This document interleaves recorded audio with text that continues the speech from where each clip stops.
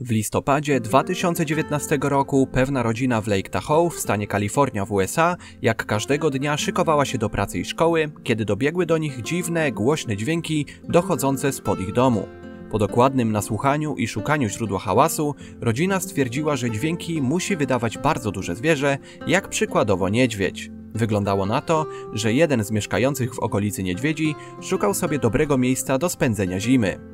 Rodzina zostawiła otwarte, małe wejście pod domem, co zwierzę potraktowało jako swego rodzaju zaproszenie i się wprowadziło. Mieszkańcy, szukając pomocy, wyzwali Bear League, stowarzyszenie zajmujące się takimi sytuacjami na co dzień. Niskie pomieszczenia, jak to pod domem, są idealne dla niedźwiedzi, gdyż wyglądają dość podobnie do jaskiń. Są ciemne, ciche, suche i bezpieczne, więc po prostu świetne dla niedźwiedzi planujących zapaść w sen zimowy. Bryant, jedna z pracowników Berlik, zapewniła, że przyjedzie następnego dnia i pomoże przenieść niedźwiedzia w inne miejsce. Jednak rodzina kilkanaście godzin wcześniej przestała słyszeć jakiekolwiek dziwne dźwięki. Sądząc więc, że niedźwiedź się wyprowadził, zamknęli drzwi do małego korytarza pod domem. Jak się szybko okazało, zwierzę wciąż było w środku.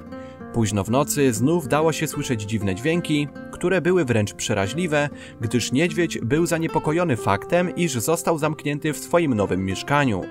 Mieszkańcy czuli się źle z powodu zamknięcia niedźwiedzia, pomimo że zrobili to nieświadomie. Nazajutrz jednak pojawiła się pomoc, czyli wcześniej wspomniana Bryant, która w pierwszej kolejności otworzyła bramkę do mieszkania zwierzęcia. Przyznała też, że mieszkańcy domu byli bardzo zaniepokojeni stanem zdrowia i samopoczuciem niedźwiedzia, co było naprawdę piękne z ich strony. Bryant ma do czynienia z takimi sytuacjami niemalże każdego dnia i doskonale wie, co ma robić. Znalazła więc inne wejście do małej jamy niedźwiedzia i weszła do środka, znajdując się za zwierzęciem, zatem to nie mogło jej zobaczyć. Następnie, używając specjalnego urządzenia, Bryant wywołała głośne dźwięki, których zadaniem było przestraszenie i wypędzenie niedźwiedzia z drugiej strony. Jednak niedźwiedź nie zamierzał opuszczać swojej kryjówki. Bryant postanowiła więc sprawdzić, dlaczego zwierzę nie chce wyjść z korytarza pod domem i kiedy obeszła budynek, niedźwiedź postanowił, że to idealny moment, aby się wynosić.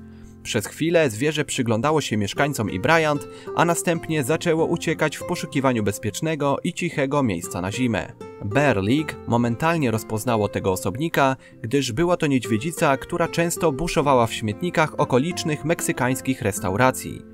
W Lake Tahoe mieszka wiele niedźwiedzi, a zimą wszystkie szukają bezpiecznych miejsc do spania. Warto więc upewnić się, że przestrzenie, gdzie może wpełznąć niedźwiedź, są szczelnie zamknięte. W przeciwnym razie, z pewnością zwierzę to poczuje się jak w domu. A co ty zrobiłbyś lub zrobiłabyś w sytuacji, gdyby pod twoim domem zamieszkał niedźwiedź? Daj znać w komentarzu. Zostaw łapkę w górę i zasubskrybuj mój kanał, aby nie przegapić kolejnych równie ciekawych filmów. Dziękuję i do usłyszenia. Cześć!